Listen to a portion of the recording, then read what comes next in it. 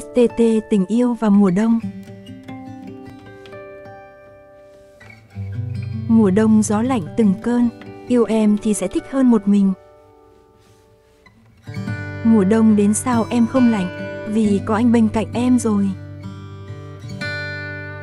Anh ơi gió lạnh gần kề, mau mau thu xếp mà về bên em. Ngoài trời mùa đông lạnh giá, liệu em có thể ngã vào lòng anh? Trời vào đông sao người còn bận rộn, tìm em đi, em đứng đây này. Nắm tay em đi kiểu gì chả ấm, anh ngại à, thôi đưa đây em nắm tay anh.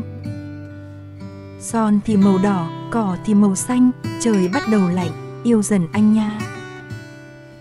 Chúc bạn có một mùa đông ấm áp và ngập tràn tình yêu nhá. Hãy đồng hành cùng những câu nói hay nhá. Chúc các bạn xem video vui vẻ.